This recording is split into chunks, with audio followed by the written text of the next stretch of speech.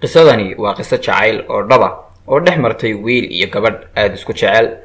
Waxa uu xidhiidhkoogu socdaba waxa ay go'aansadeen oo ay isku raaceen inay u beddelaan xaaladani xaalad qoysnimo. Maadaama oo ay aada isku jeclaayeen waxa ay xaaladoodii u beddeleen xaalad qoysnimo waanay isguursadeen. Haddaba markii ay muddo dhan isqabeen toban sanno oo aysan helin wax ubada samraasadkii waa helaaye ayaa haweenaydii ay shakiday ayadoo ka shakiday in ay leedahay uur. Waxa ay aaday dhankaas iyo dhakhaatiirta ayagoo dhakhaatiirtu u sheegay in ay sido ubad ubadkaasi oo ah mataano aad aad ayaanay u farxeen ayada iyo wiilkii maadaama oo ay toban sannoo dhan sugaayeen ubad.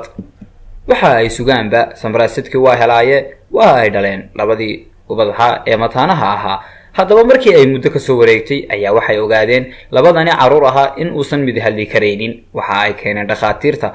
Waxayna dhakhaatiirtu u sheegeen in aan waddanka waxba lagaga qaban karaynin waddankaasi maraykanka oo keliya mooyaane. Haddaba labadii waalid ahaa ayaa waxa ay guda galeen in ay xoogu shaqaystaan. Si ay lacag u helaan ay dhakhtarka ku geeyaan ubadkooga ka aan hadlaynin waxa ay shaqeeyaanba waxa ay ku guulaysteen inay lacagtii helaan oo ay geeyaan waddankaasi maraykanka gaar ahaan new york. Haddaba hooyadii marka ay guda gashay in ay dhakhtarka geyso ay ki yaraana gacanta hayso ayaa waxaa kufay ki yaraa asagoo hooyadii ku yidhi naqabo hooyadaa la jineeyey.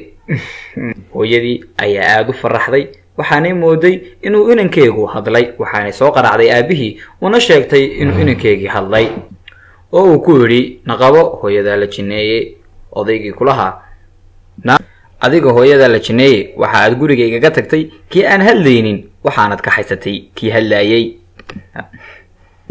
Haddaba haddii ay sheekadani ku cajibisay ama ay kaa quslisay ama ay kulaali gelisay faldan ha hilmaamin inaad like garayso sina sheer garayso. Sidoo kalena ha iloobin inaad subscribe garayso.